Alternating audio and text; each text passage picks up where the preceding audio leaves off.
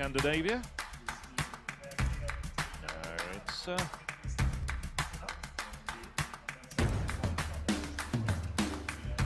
just checking whether he gets the white flag.